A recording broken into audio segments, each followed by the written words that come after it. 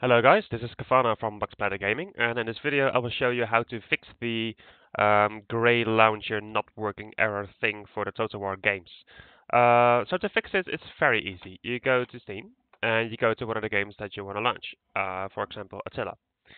Um, the thing is, when I start playing it, uh, the launcher will start but it will get stuck in this gray loading screen and it will not work. You will see what I'm talking about in a second.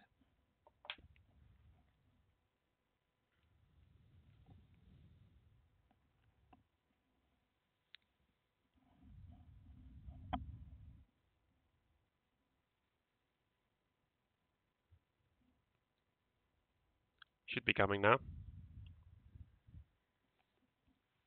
There you go.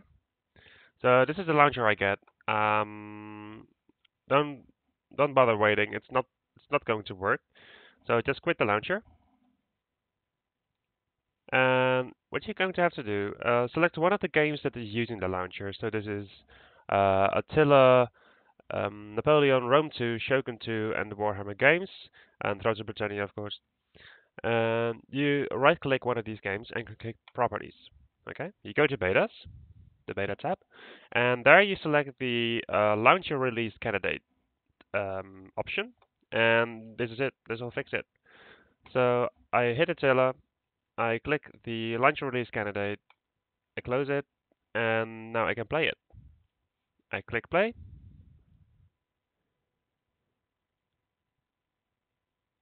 And there you go, the launcher is working. It's very easy.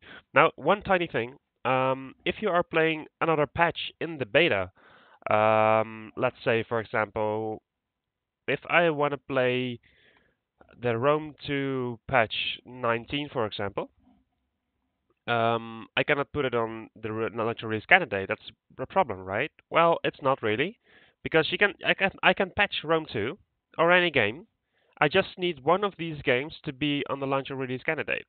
Because I start Attila,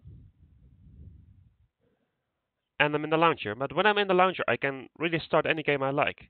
So I then go to Rome 2, and I click play, and then I will play the game. Okay, it's that easy. Okay, hope it helped. Uh, have fun playing. If you have any questions, leave it down in the comments below.